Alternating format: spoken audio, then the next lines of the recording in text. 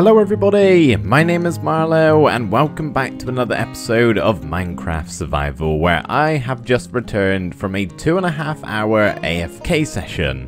What was I AFKing for you may ask? Well, copper, specifically oxidized copper.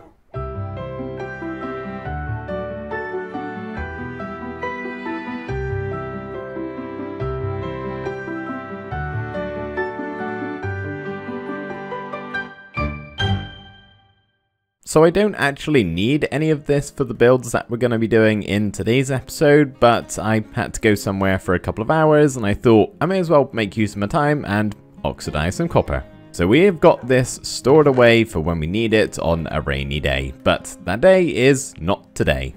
What we are going to be doing today is continuing our project that we started in the last episode, which is this mining operation. In the last video, in case you missed it, we built our ore sorting building that has a crane with a conveyor belt attached to it, and we also did some stuff actually in the hole itself, such as these minecart rails, and if we're lucky, there it is, we can see the minecart going across. So the idea of this building is that all of the ores we can get from the big old cave down below get sorted into separate groups. We're going to have four different groups. One is for coal, two is for iron, gold and copper, another one is for redstone and lapis, and the fourth and final one is for emeralds and diamonds. So the idea is to send those ores off to their separate buildings to then be refined somehow. Now in the last episode I asked you guys how we could refine them, what we should do with all of the individual buildings and how we can make them unique from each other. Unfortunately, I haven't been able to see your comments just yet because, well, the episode is not currently live at the time of recording. Unfortunately, I'm having to start this episode a little bit earlier than anticipated. I'm going to be quite busy in a few days, so I just need to do a slight bit of pre-recording for my videos this week, and the first thing I always record in a given week with my schedule is the survival episode, just so I can make sure I get it done on time for you guys.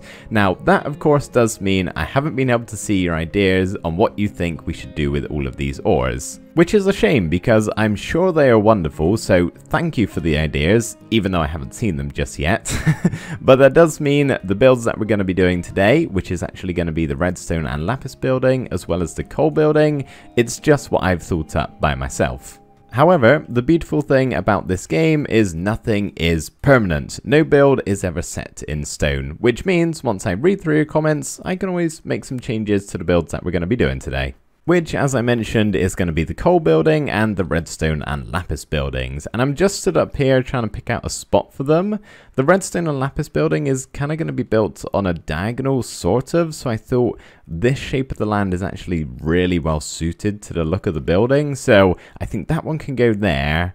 And we do have quite a lot of flat land here, but I'm thinking the coal building, maybe we stick it on top of the hill up there. I'm pretty sure I have most of the supplies I'm going to need for the builds that we do today. However, there are a couple that I'm missing. So real quickly, before we get started with any building, I need to do a tiny bit of resource gathering.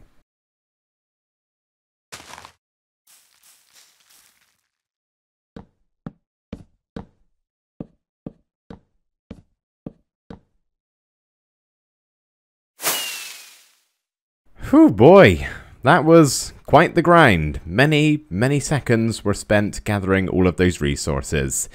So it turns out I pretty much only needed acacia, and yes, I did harvest more than one tree. uh, I need like a stack or so. Everything else I actually had on hand ready to go. So now I can fly back to my base here and put these acacia blocks with the other ones in my shulker boxes here where I've got all of my supplies stored up and ready to go. Do I have a little bit more? Yes, I do. I even have 48 more in there. Probably didn't even need to cut any trees down. but I got my two boxes here which I'm going to take over to the build site and we can get started on building the coal building. Name pending. I have no idea what to call all of these buildings.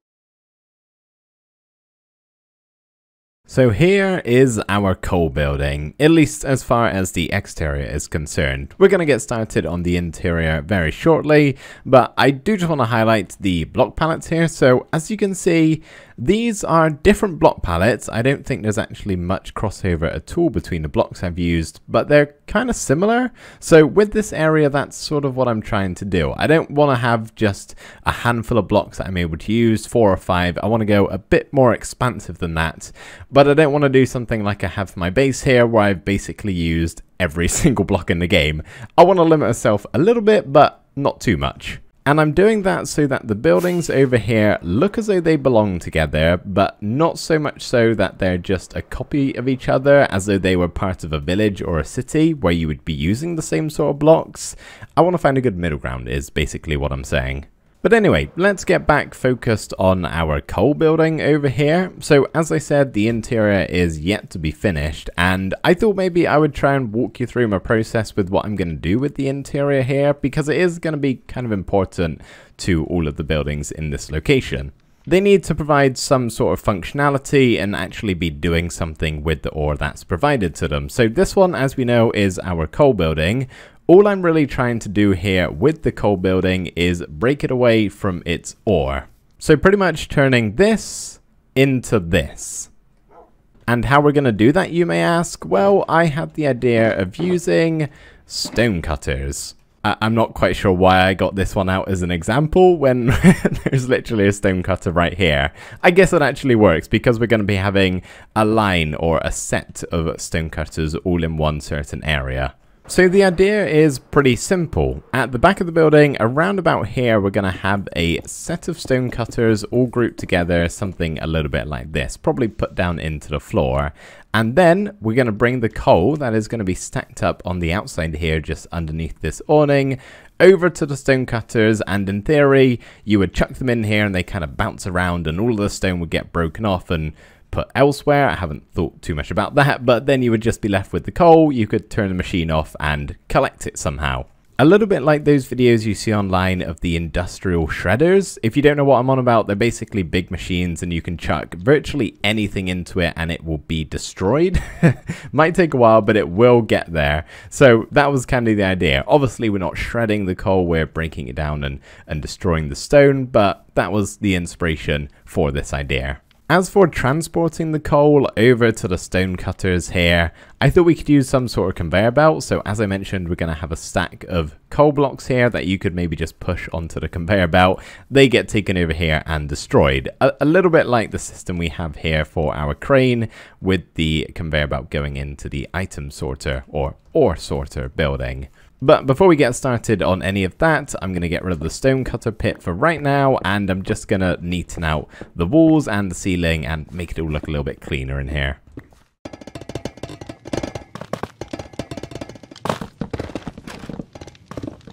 The roof at the moment is a bit too coppery, and yes, that's a new word.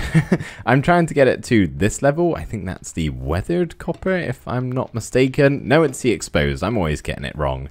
I want it to that level, which is only the second tier of copper oxidization, so it shouldn't take too long, and I don't really want to waste the copper I oxidize at the start of the episode on this roof because I'm not going to see it all the time, and it shouldn't take too long to spread its way across, and when it's done, I'll give it a good wax. So now we can get started on the fun part, which is going to be the conveyor belt taking the coal to the stone cutters. Of course, I need to do the floor as well. I'm thinking I might do a similar floor as to what we have in the...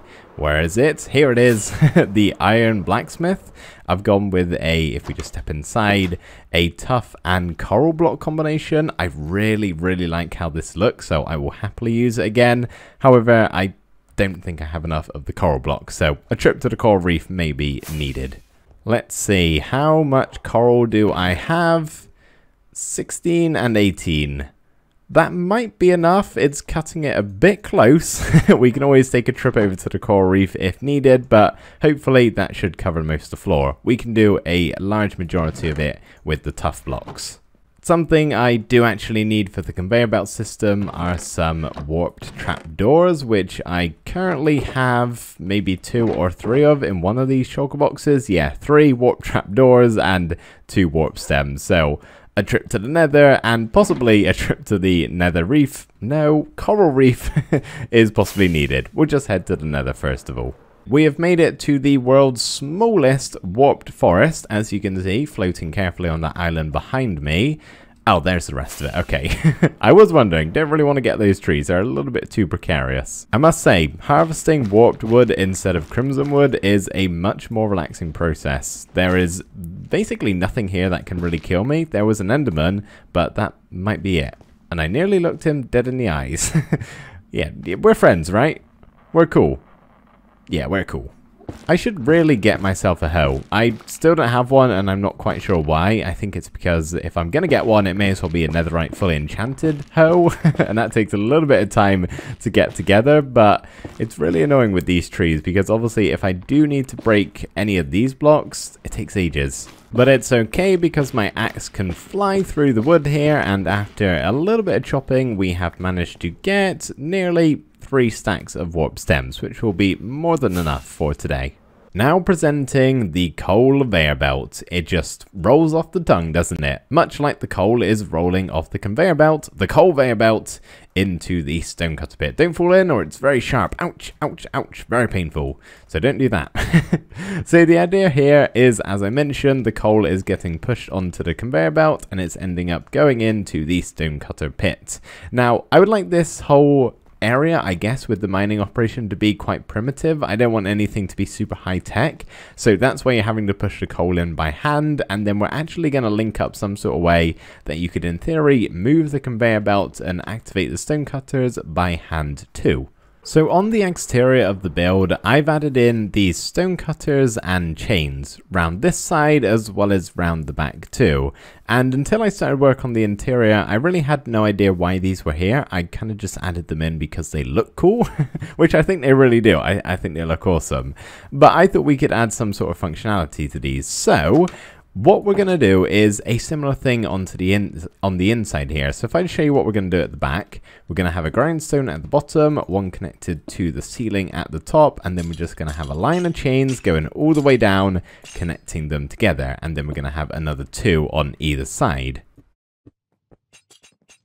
Just like that. So we end up with something that looks like this. Very similar to what we have on the outside. And my thinking is, with these chains, it's going to be a bit of a pulley system. So maybe this one at the back can be to get the stone cutters moving. You would just have to keep yanking on this chain, and over and over again it would make the stone cutters rotate. I don't know. just a little idea. And then we're going to do a similar thing around this side too, because of course on the back of this door is where we have some more grindstones. And maybe these two over here can be to control the conveyor belt, so you'd have to keep pulling on this over and over again, making the conveyor belt move. Maybe they can all be for that. I, I'm, I don't know if this thing at the back here makes sense with the stone cutters. So let's just say they're all to make the conveyor belt move. We could have five different workers in here, kind of pulling them at all once to get some real speed going. I like the manual labor aspect to it. Plus, as it does with the outside, it looks pretty cool. So this obviously takes up most of the room on the interior here, so there isn't really too much left to add in, but I would like to fill in the rest of the open space we have. I think we need to put something here and something over here. In fact, I know we do. Most of you probably know by now, I planned these builds before in a creative world. I'm thinking for this section, since we have the chimney up there, we could add in some sort of coal testing area. So maybe if we just connect up a furnace at the bottom to the chimney and that should fill in the space nicely. Ah, perfect. Would you look at that? exactly what I had in mind. So we can put the coal into the holes here, it would go into the furnace, and if we need to test the quality, we could just pump it in here and make sure it's smelting up all of the items well. And maybe over here for this section, we could keep with the theme of testing the coal. So maybe if we just make a little bit of a table setup with a pickaxe next to it and you could kind of chip away at the coal and make sure everything is up to snuff. Oh, once again, exactly what I was thinking of. So as you can see here, I just did some stuff. I mean, uh, the magic did some stuff with the armor stands. You can put them on tool racks here with the tripwire hooks. It's, it's really cool. I love that little feature. And we just got some coal on the table here with another pickaxe next to it, just to kind of chip away and, and test the quality, that sort of thing. The very final thing to do before we are done with this build is to place in a couple of lanterns so we don't get anything bad spawning inside of here.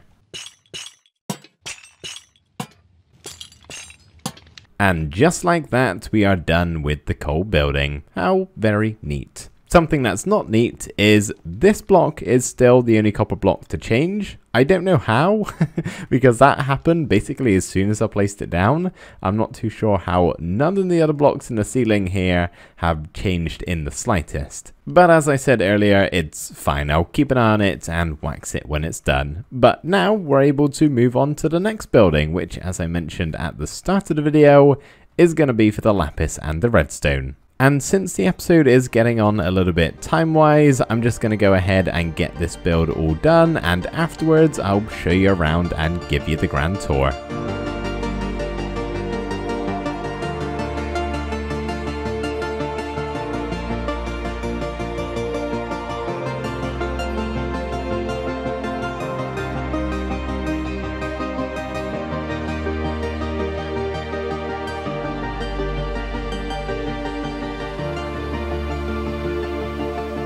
So here is our finished redstone and lapis building, which as you can see is split nicely into two sides. The left side is the blue and the right side is the red. Which are you gonna pick? I'm going to go for both because, well, they're the same building.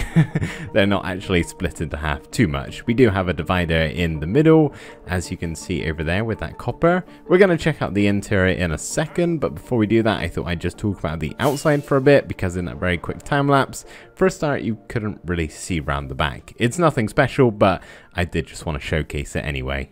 Now I do really like this building, I'm just not sure how well it fits with the other two we've made and this whole area here. And I think the sole reason as to why that possibly is comes down to two different parts of this building. It's nothing to do with the shape or anything like that, but one of them is the colored glass. Obviously, I've got that in place because redstone and lapis, blue and red.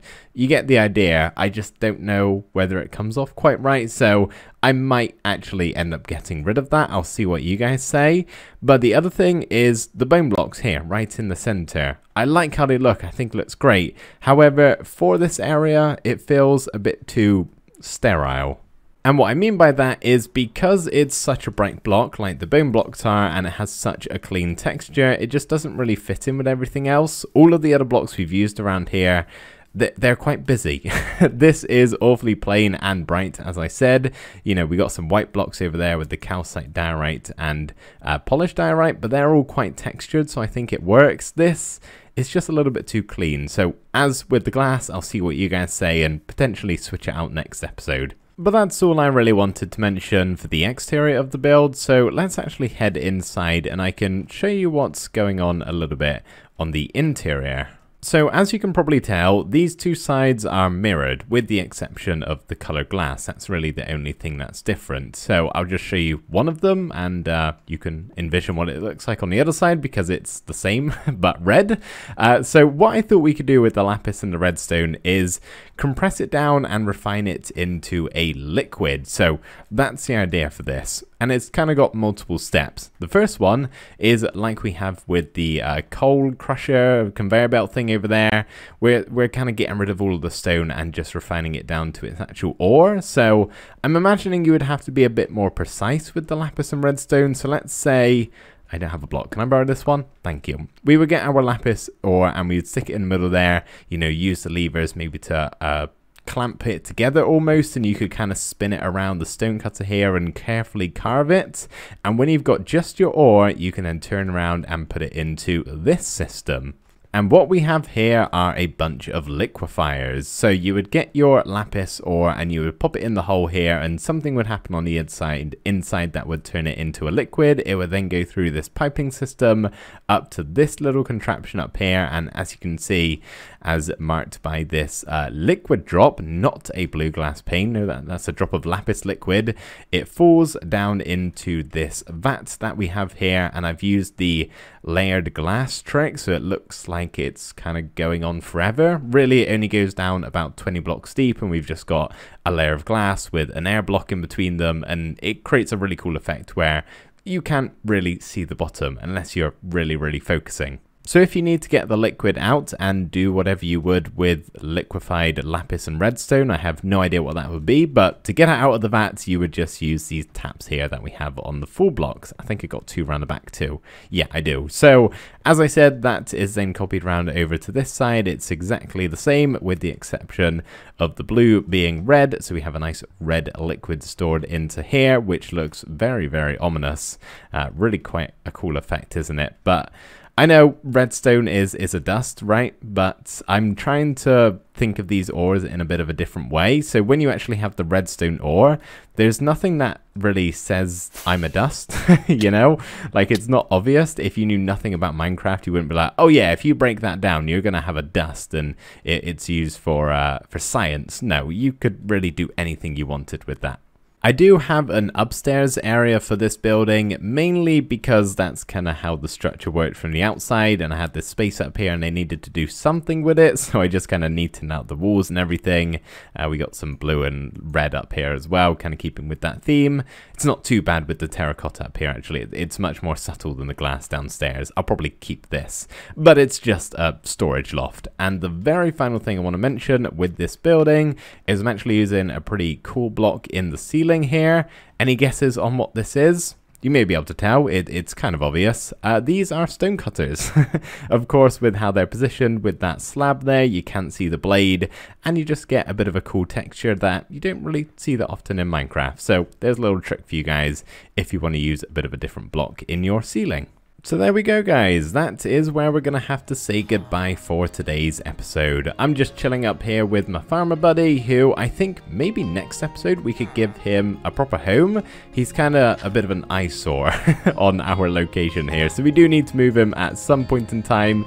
Maybe we can do that in the next episode. But before we go here super quickly, I do just want to mention the episode from last week has not long gone out at the time I'm recording right now, so I've managed to read a couple of your guys' comments and something I noticed quite a few of you saying is in my statistics here I have actually mined diamond blocks. Regular ones, not just deepslate. I missed it right at the end. I've mined two of them. They should be somewhere around here. Hopefully I don't miss it again, otherwise that'd be really embarrassing. There it is.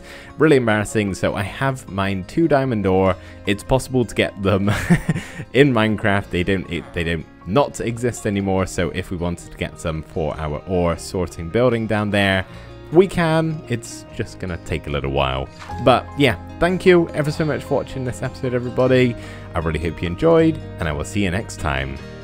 Bye for now.